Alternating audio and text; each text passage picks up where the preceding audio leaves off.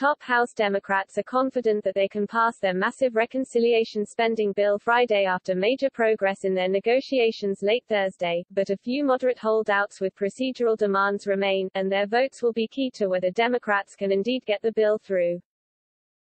Reps. Josh Gottheimer, DNJ, Jared Golden, D. Maine, Stephanie Murphy, D. Fla, Kurt Schrader, D. Orr, and Ed Case, D. Hawaii, all signed a letter Tuesday demanding 72 hours to review the final bill text, the proper CBO, junction scoring information and clearance with the Senate that the bill will not be changed once the House passes it.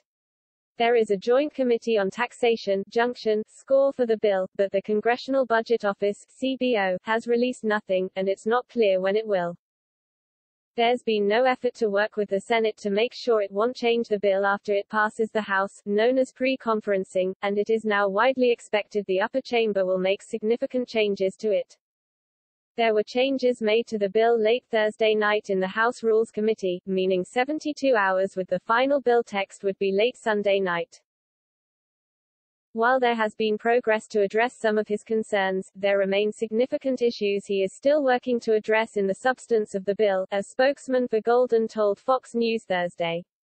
That is in addition to the conditions he laid out earlier this week, around a CBO score, time to review, and pre-conferencing. I think you'll agree those conditions have not been met. Case also told CNN he is sticking by the position laid out in the Tuesday letter and wants a CBO score. Gottheimer was more equivocal in Thursday comments, and a spokesman told Fox News the junction score would be enough for him to satisfy his scoring-related concerns about the bill. Despite those apparently outstanding concerns, House Majority Leader Steny Hoyer, DMD, told members Thursday the chamber will vote on both the reconciliation bill and the bipartisan infrastructure bill. Fox News reached out to the offices of all five members, Gottheimer, Golden, Murphy, Schrader and Case, late Thursday after Hoyer's announcement. None answered whether they will vote for reconciliation Thursday. Democrats can only lose three votes and still pass the reconciliation bill. Other areas of disagreement in the House appeared to clear up Thursday amid a relentless whip effort by House Speaker Nancy Pelosi, D. Califf.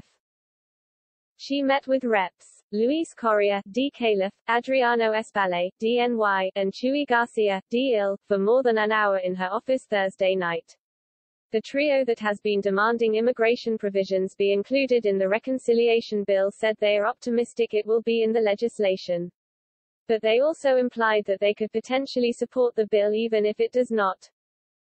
A late-night manager's amendment in the House Rules Committee, meanwhile, made a change to the state and local tax deduction provision in the bill. This earned the endorsement of Reps. Thomas Suozzi, DNY, Mikie Sherrill, DNJ, and Gottheimer himself just before midnight. Those three were threatening to vote against reconciliation if it did not include a tax cut for their constituents in high-tax blue states. These agreements leave the five moderates asking for certain procedural accommodations as perhaps the most important members to watch before Pelosi calls a vote Friday. Pelosi argued in a letter Thursday night that the junction score and a further analysis from the White House should be more than enough to ease any fiscal concerns.